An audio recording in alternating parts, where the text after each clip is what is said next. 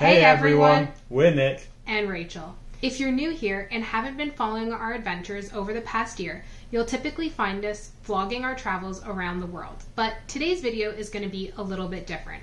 As we travel through various different countries, we've noticed some things are a little bit different than what we're accustomed to back home in Canada and the UK. The reason that we have this channel is to share our experiences in the hope that that will also inspire you to do the same. However, we do completely understand that not all countries are made alike. So, with that, we wanted to provide you with some helpful tips and tricks for each of the countries that we visited so that if you were to go and do the same itineraries that we have, you'll feel as best prepared as possible. Today's video is going to focus on traveling through India. If you've been watching our videos, you'll know that we went to Delhi, Agra, Jaipur, Jodhpur, Mumbai, and Goa while we were there. Because we spent quite a bit of time in India, we also have quite a list of pointers to get through today. Some of the tips and tricks will be specific to the country as a whole, while others will be city specific. We hope you find these useful. When we were first considering coming to India, then one thing that we had heard from a lot of people, and these were a lot of horror stories, was with regards to getting a visa to enter India in the first place. It had a reputation for being a lengthy and very costly process just so that you would get in. However, as we started traveling around the world, we ended up finding out that when we came to applying for an Indian visa, they had just instituted an e visa system. And this was a means to reducing the waiting times, streamlining the process, and just generally making things cheaper and easier for anybody who wants to visit. And that's exactly what we found. It did take us some time to actually go through the e visa application process. I would say definitely set aside a couple of hours so that you can do it 100% right. But thankfully, while some of the phrasing of the questions may be a little bit confusing, there are guides available to help you through that process and make sure that you're providing the information that they are after. Once we'd gone through all of that, then the actual cost of the application was 10 US dollars per person, which is phenomenally cheap for entry. And the turnaround time, in comparison to the weeks and months that we had heard from other people prior to this process, was within 24 hours. We were absolutely flabbergasted. So we presented the documents that they asked us to print out upon arrival, and after about 10 minutes, then it was all taken care of, and we were welcome into the country for 30 days. Some cities in India do have a metro or subway line. We used the metro in Delhi, in Jaipur, and in Mumbai. The most extensive subway system is definitely in Delhi, and once we discovered it, we really used it as a mode of transportation because it took us to almost every tourist attraction we wanted to go to or very close to it. And it is so much cheaper than getting an Uber or negotiating a tuk tuk ride. Also, you can get the subway from Delhi airport right to their main railway station. So that is a really convenient way to get into the city. Now, the subway system in Jaipur is not as extensive, but there is a subway station close to the main railway station in Jaipur, so that's a really easy way to connect into the central part of Jaipur as well. And in Mumbai, we actually walked a lot there. However, the metro system there is pretty extensive, and I do think you can get around pretty well using it. As I mentioned before, it is really cheap, it is safe, it is clean. To give you an idea, all of the metro or subway systems have air conditioning, so it's so comfortable. Just be aware that sometimes when you emerge from the airport or a main railway station, or you're heading towards a subway station, the tuk tuk drivers might approach you and say, you know, oh, I'll give you a better price than the subway. Or they might tell you, you know, the subway stop is closed, or that it's not running today, or it doesn't go there. None of those things are true. All you really need to know is that it is a very reliable service and trust Google. As you go through India, then typically your main mode of transport, aside from metro lines and potentially buses, will be rickshaws, aka tuk tuks. Uber is technically available, but in our experience, it's really something that is only used for travel by car. There is an Uber Auto function which is aimed at getting you a rickshaw, but every time we tried to use that, then we were unfortunately unsuccessful. So that is definitely something to bear in mind. Equally, not a lot of drivers appear to use it, so even when it comes to the car aspect, then you may end up finding that you request something, you're waiting for five minutes, and nothing happens. So everything gets cancelled. So, with that, Uber unfortunately is not really your friend in terms of getting you a ride. However, one thing we did find it was useful for was quoting us an appropriate price whenever we did need to hop on a rickshaw or get a taxi somewhere. For that, then basically we just input the place that we were trying to go and we took that price as gospel and we used that as a negotiation tool for any tuk tuk driver that wanted to take us to that place. And that ended up meaning that we got some very reasonable rates. So we would thoroughly recommend that if you're planning on doing that, you do the same thing.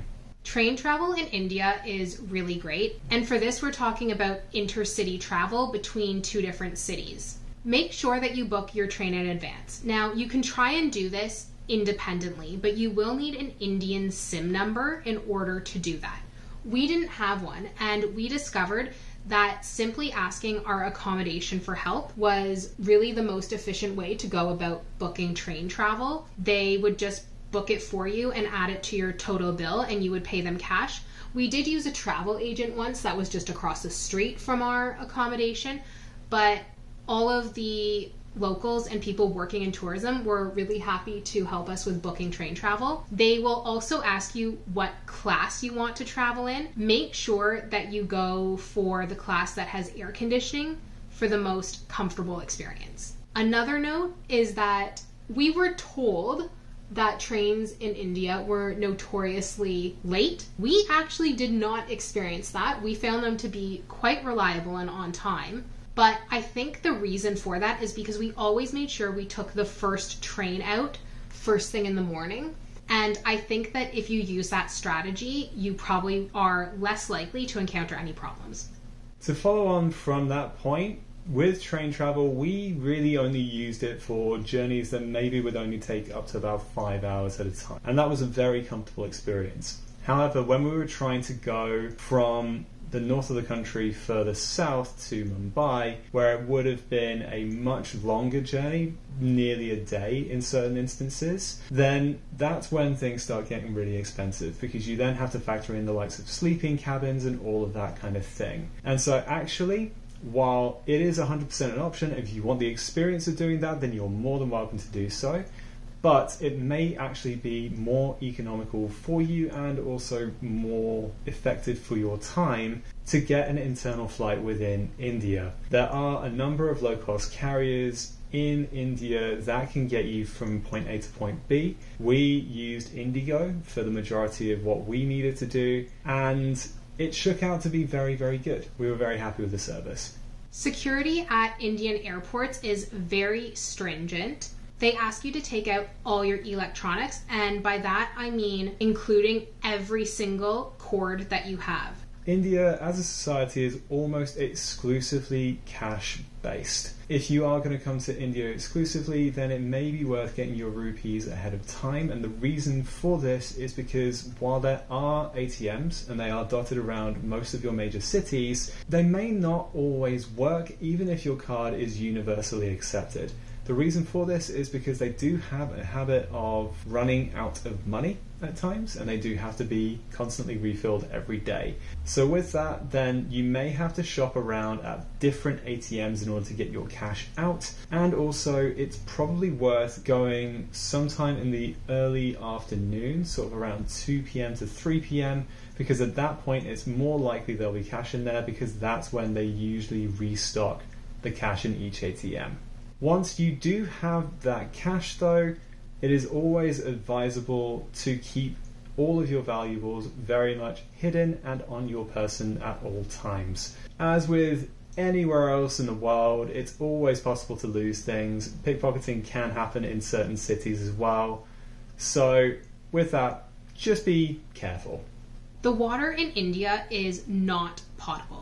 This means that you definitely cannot drink it. You're going to have to buy bottled water. And again, like most other countries where this is the case, bottled water is very cheap and affordable. However, unlike the countries that we had previously visited, in India you cannot brush your teeth with the drinking water. Now, this isn't to say that their water is bad, it's just not good for Western stomachs because we're not used to it.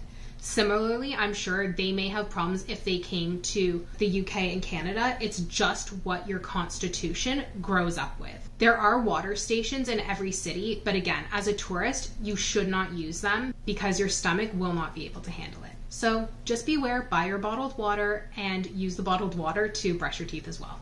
In the same way, then this does also carry over to the likes of street food. So it is definitely worth being a little bit careful about this because when it comes to a number of these things, then a lot of the products are going to be washed with that same water which upsets a Western stomach. With that, it's definitely best to make sure that anything that you buy is very much cooked through. If it's got water in it, then that water is very much boiled off. And generally speaking, just as a best practice, it's always best to make sure that you watch the thing that you're buying being cooked in front of you first.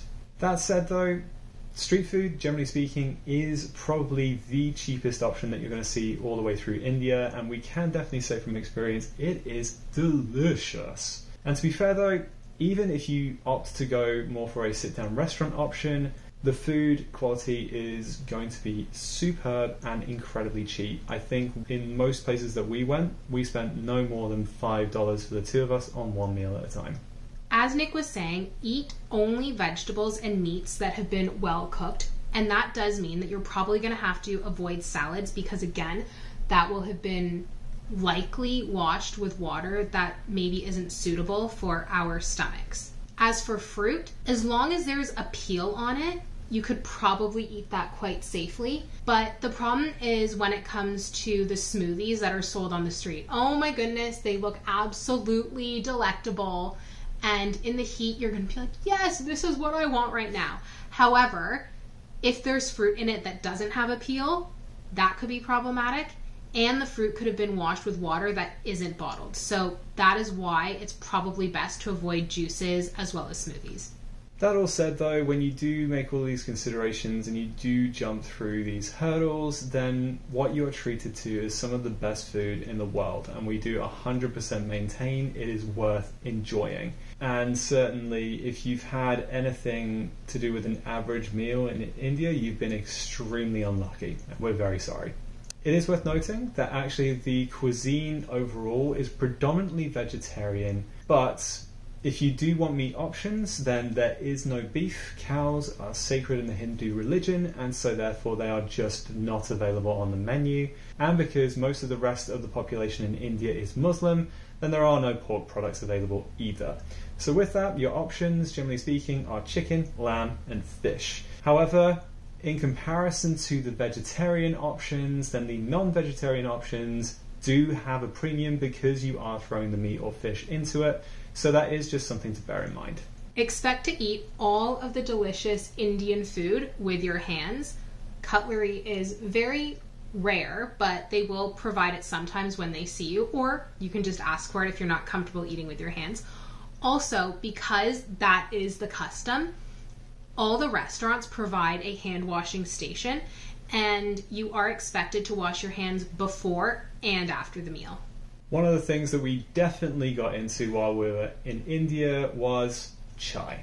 The tea culture in India is absolutely amazing. They obviously grow it in the country to begin with anyway, and the quality that you get is superb. What we really enjoyed was what they call masala chai, so basically a spiced tea, and it was always maybe sort of 10, 20 rupees, which is way under a dollar every time that you wanted one, and it tasted absolutely phenomenal.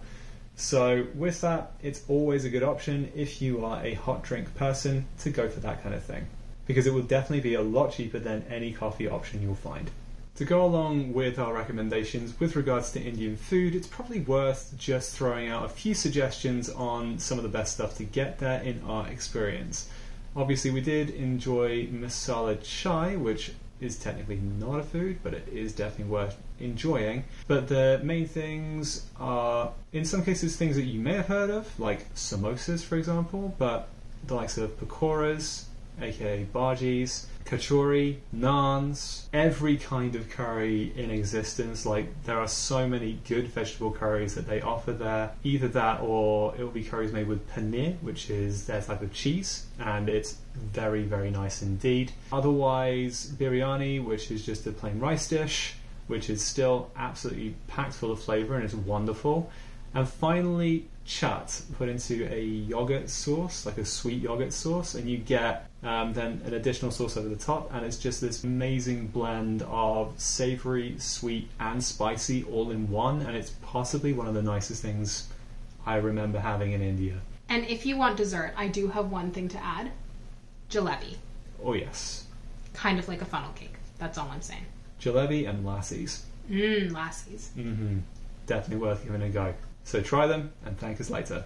I think a lot of people are afraid of Indian food because they think, oh, it's too spicy.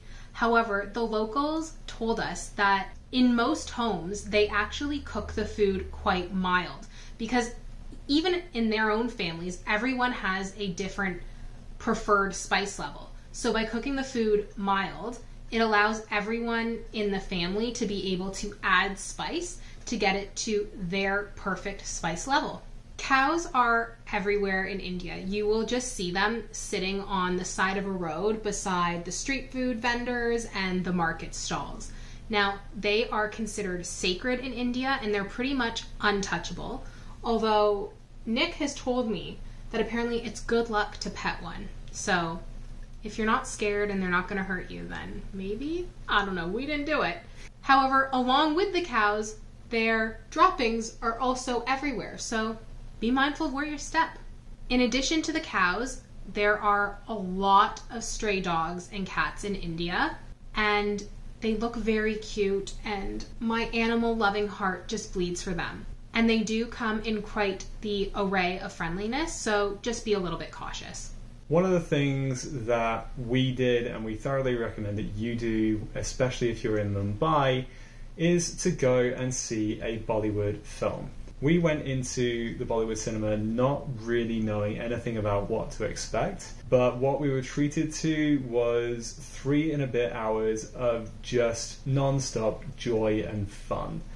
It was a really, really cool experience and really unlike anything else that we've ever been to before. Typically, the films would last around three hours. There is an intermission as well. And so, really, it's more like going and seeing a musical theatre production, but it's just on screen instead of live action. Seats to go and see a Bollywood film are also pretty darn cheap, so if you want a good way to spend the best part of an afternoon or an evening, this is a really good way to do it on a budget.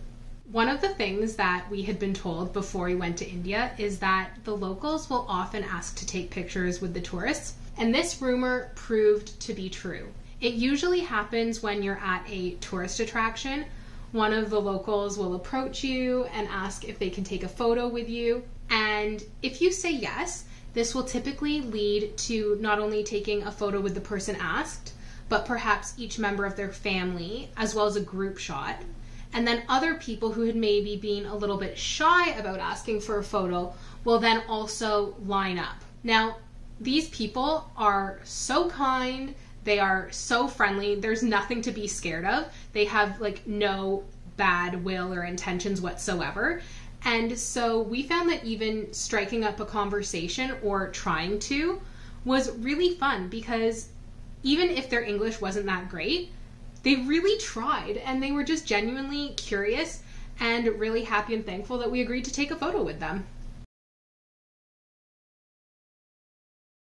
For all of those lovely people who do ask for photos, though, then there may be a number of people who will come up to you and ask you for money. And in those scenarios, they may be somebody just casually striking up a conversation, or they may be outright coming to you with their hands outstretched.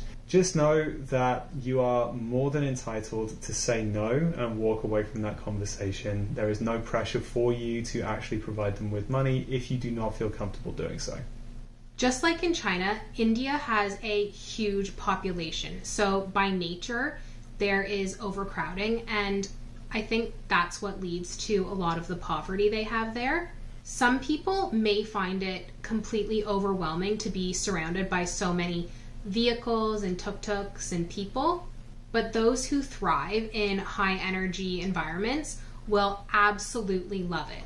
If you're not one of those people, I think that this can be easily rectified by just ensuring that your accommodation is a quiet haven for you to retreat to. Bearing this in mind, it is 100% worth looking into when you book your accommodation that you have the amenities that you need to make your stay as comfortable as possible. So, with that, whether it's air conditioning, a private bathroom, or something else, then just make sure that all of that is included in the listing prior to you booking. As with many of the other countries that we have done these tips and tricks videos for, India is another one where you will have to ask your accommodation for toilet paper unless you want to, as you so put it yesterday, the bum gun or just the hose beside the toilet, which acts essentially as a bidet. Definitely, when you're out at tourist attractions, you will not have the option of toilet paper. So, if you do want some, you should just bring some with you in a little bag. Now, for a little bit of location specific advice. When you're in Agra, obviously the major thing that you can see is the Taj Mahal. And I cannot even begin to tell you how incredible it was for us to go and see it. However, there is also another site there called the Agra Fort, which we would also recommend giving a look if you plan on staying in Agra for a couple of days. Tickets for both of these attractions can be bought in advance online. However, rather than having to buy individual tickets, which is an option, what you can do to save money is actually buy a combined ticket, which provides you with entrance into both sites. So, just a little tip there for if you want to save a little bit of added money while you're in Agra, because certainly the Taj Mahal is probably the most expensive thing that we ended up seeing while we were in India. Buses between Jaipur and Amber Fort are available and by far the cheapest way to get between the two locations. There's both a tourist bus as well as a local bus. I believe they go from the same spot.